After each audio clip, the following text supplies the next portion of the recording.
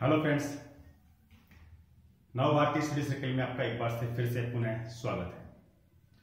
आज फिर हम सेट थ्योरी जो हमने प्रारंभ कर दी थी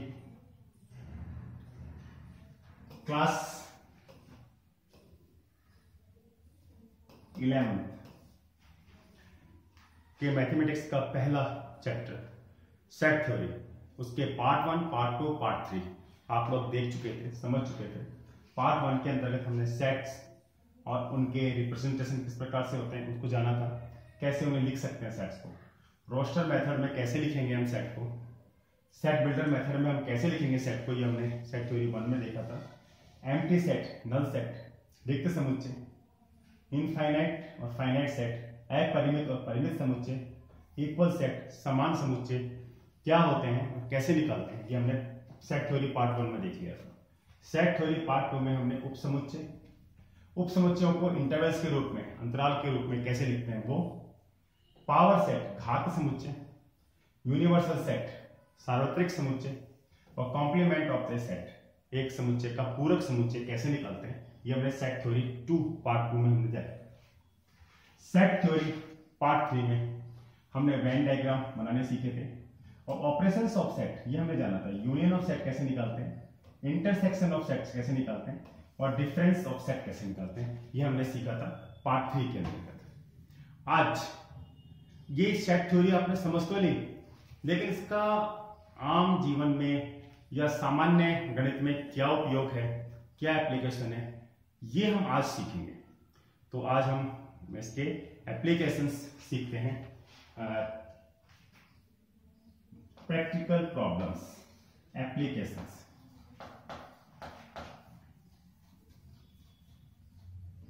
Application in real life. क्या है इसका उपयोग? ये हम पार्ट फोर में जानेंगे। ये हमारा क्लास इलेवेंथ की सेट थ्योरी का आखिरी पार्ट है राइट चलिए इसको समझते हैं।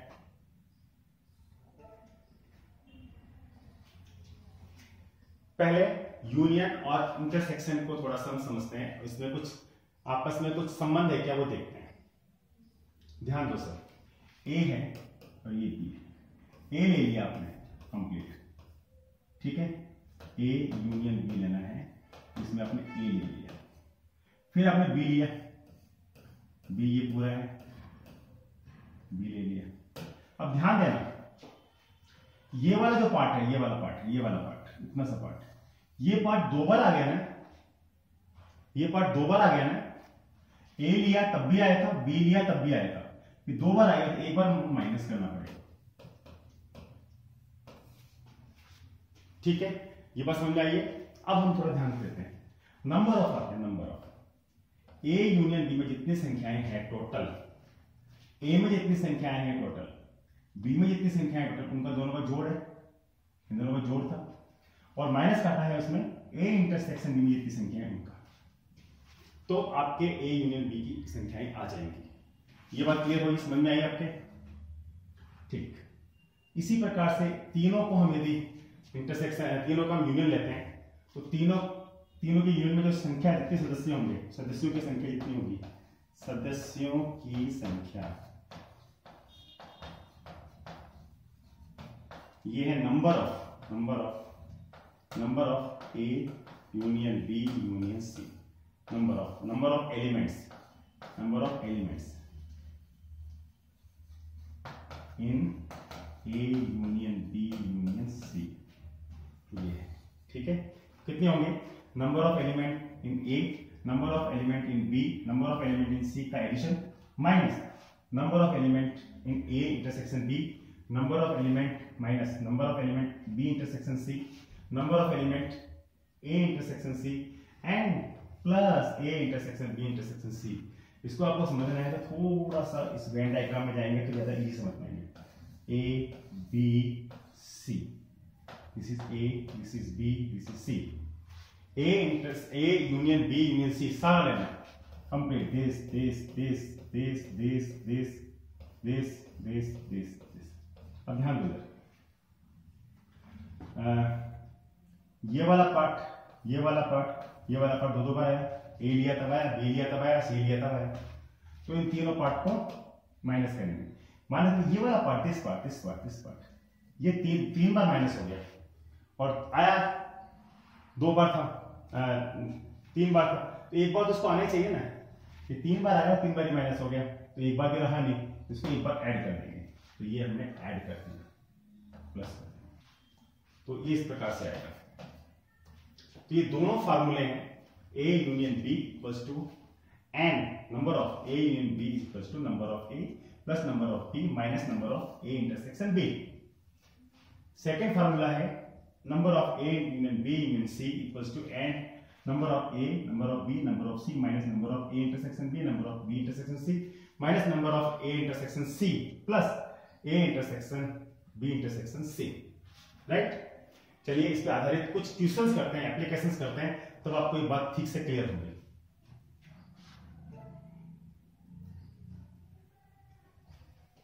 एग्ज़ाम्पल थ्री एग्ज़ाम्पल लिए मैंने यहाँ। फ़र्स्ट एग्ज़ाम्पल करते हैं। If X and Y are two sets such that x union y has 50 elements तो इसमें लिखा है X union Y equals to 50 number of x. x has 28 elements number of x equals to 28 elements number of y has y has 38 number of y 38 Hi, 32.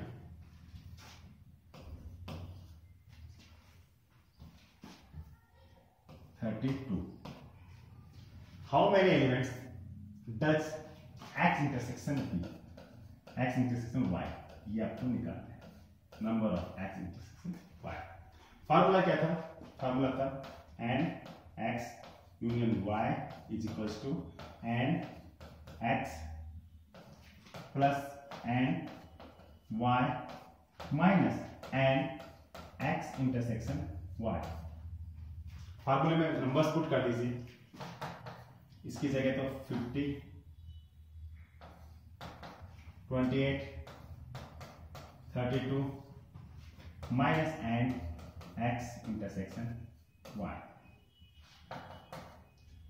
50 equals to fifty two minus N X intersection Y इसके बाद में यहाँ ले लेते हैं हम. X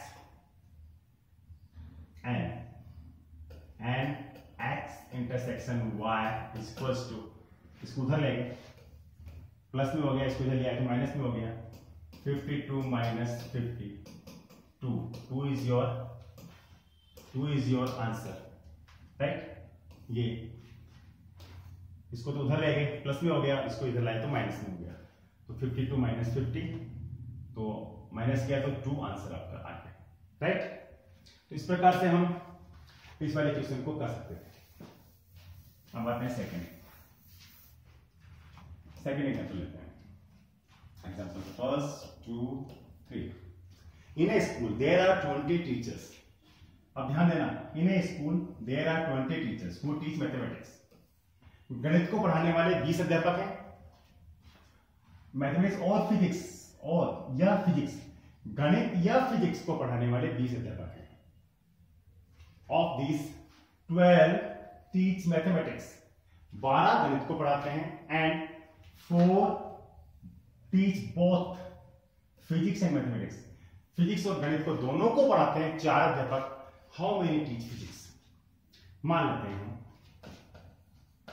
late mathematics को पढ़ाने वाले जो टीचर्स हैं नंबर ऑफ़ मैथमेटिक्स हैं, वो ये है। नंबर ऑफ़ फिजिक्स मतलब फिजिक्स पढ़ाने वाले टीचर्स का जो सेट है, वो पी है और मैथमेटिक्स पढ़ाने वाले टीचर्स का सेट है, वो एम है। हम ये मान लेते हैं एम इज़ फ़र्स्ट टू जो हु टीचर्स मैथ P है who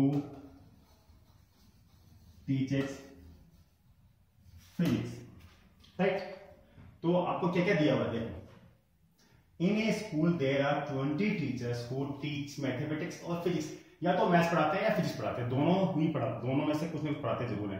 तो ये क्या है? ये वास्तव में एन एम यूनियन पी है।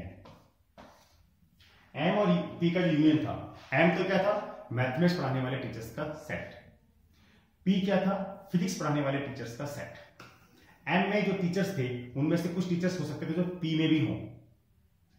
क्योंकि मैथ्स भी पढ़ाते हैं और फिजिक्स भी पढ़ाते हैं। तो इसलिए जब हम इनका यूनियन लेंगे तो यूनियन में जो आएगा वो मैथ्स पढ़ाने वाले टीचर्स भी होंगे सारे के सारे और फिजिक्स पढ़ाने वाले टीचर्स भी होंगे सारे के सारे और कॉमन भी कॉमन एक बार लिखेंगे तो वो भी होंगे। तो जो यूनियन है उसमें फिजिक्स या या मैथमेटिक्स पढ़ाने वाले फिजिक्स या और मैथमेटिक्स पढ़ाने वाले टीचर्स का सेट होगा। ठीक है? तो ये ये कितना रखे कितना आपको? ट्वेंटी रखा। फिर आगे रखा ट्वेल्व टीच मैथमेटिक्स केवल मैथमेटिक्स पढ़ाने वाले। Twelve simple four teach both physics वाले में भी हैं और मैथमेटिक्स वाले में भी हैं। दोनों में है बोथ बोथ पढ़ाते हैं, दोनों पढ़ाते हैं जो वो कॉमन है, दोनों में। तो वो इंटरसेक्शन आ जाएगा। एन एन इंटरसेक्शन पी कितने दे रखा है वो? फोर पूछा क्या है? How many teach physics physics ये पूछा ठीक है? इसको पढ़ाने के लिए निकालना है तो हमें फार्मूला देखना पड़ेगा। इसका फार्मूला क्या था? फार्मूला था आपका N M union P is equal to N M plus N P minus N M intersection P ये कैपिटल में लिखने हैं। इस फार्मूले में पुट कर देंगे numbers N N union P twenty ये कितना दे रखा है? बारह। ये दे नहीं रखा। ये निकालना है हमें। और ये दे रखा है हमें चार। ठीक है? तो इसको सॉल्व करेंगे। चार में से बारह में से आ गया आठ। आठ इधर ले आएँगे? एन पी हो जाएगा बीस माइनस आठ। जो हो जाएगा आपका बारह। तो ट्वेल्व टीचर्स ऐसे हैं जो फिजिक्स पढ़ाते हैं। ट्वेल्व टीचर्स हैं जो फिजिक्स पढ़ाते हैं। इस प्रकार से हम इस क्वेश्चन को सॉल्व कर सकते हैं। चलिए, एक क्वेश्चन और है, एक एग्जांपल और है उसको भी हम सॉल्व करते हैं। In a class, in a class 35 students कुल स्टूडेंट है thirty five twenty four like play cricket तो क्रिकेट को लाइक करने वाले जो प्लेयर हैं, उनको हम लिख देते हैं ए में। ये जो सेट है, इसमें है हु लाइक्स क्रिकेट। ठीक है? एक और सेट देते हैं बी वो क्या है? Sixteen likes to play football who likes to play football पहले क्वेश्चन को और फिर each student likes to play at least one of the two two games मेनी students like to play both cricket and football? Question समझते हैं in a class of 35 students 35 बच्चों की एक क्लास है। राइट 24 बच्चे क्रिकेट खेलना पसंद करते हैं। 16 बच्चे फुटबॉल खेलना पसंद करते हैं। Each student likes to play at least one of the two games जो पैंतीस बच्चे हैं ना जो, इनमें सारे के सारे बच्चे ईच स्टूडेंट कुछ ना कुछ खेलते हैं एटलीस्ट एटलीस्ट वन कम से कम एक खेल तो खेलते ही हैं। ऐसा कोई नहीं जो कुछ भी ना खेलता हो। सारे के सारे ऐसे स्टूडेंट हैं तो ए यूनियन बी यदि हम करेंगे, फुटबॉल खेलने वाले, क्रिकेट खेलने वाले कुल बच्चे कितने हैं? वो सारे के सारे पैंतीस स्टूडेंट है। तो वो नंबर कितना आ जाएगा? पैंतीस। ये बात समझ आई? आ जाएगा पैंतीस। ठीक है? तो पैंतीस स्टूडेंट है जो कुछ ना कुछ खेलते हैं। तो ए और बी में जो स्टूडेंट है, उनमें कुछ कॉमन भी खेलने वाले होंगे, नहीं भी होंगे, लेकिन उनका जो यूनियन लेंगे तो यूनियन आएगा पैंतीस उनमें संख्या होगी पैंतीस चौबीस like to play cricket and A चौबीस है. एन बी फुटबॉल खेलने वाले कितने हैं? सोलह है.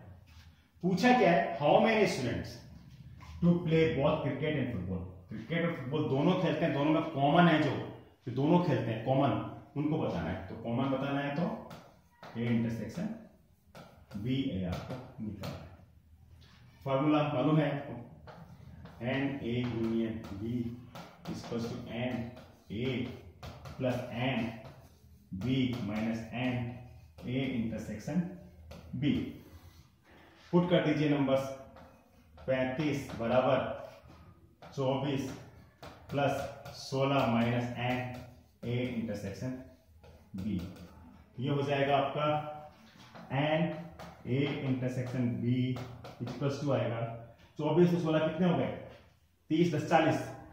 चालीस माइनस पैंतीस दस पाँच। पाँच आंसर आ जाएगा। पाँच स्टूडेंट ऐसे हैं उनमें जो क्रिकेट भी खेलते हैं और जो फुटबॉल भी खेलते हैं। राइट? ये कुछ क्वेश्चन है। ये कुछ क्वेश्चन है। इन क्वेश्चन को आप करिए, आप लोगों के लिए होमवर्क है। जो क्वेश्चन नहीं आता है, वो मुझसे आप पूछेगा मैं उसे सॉल्व करूँगा। Thank you best of luck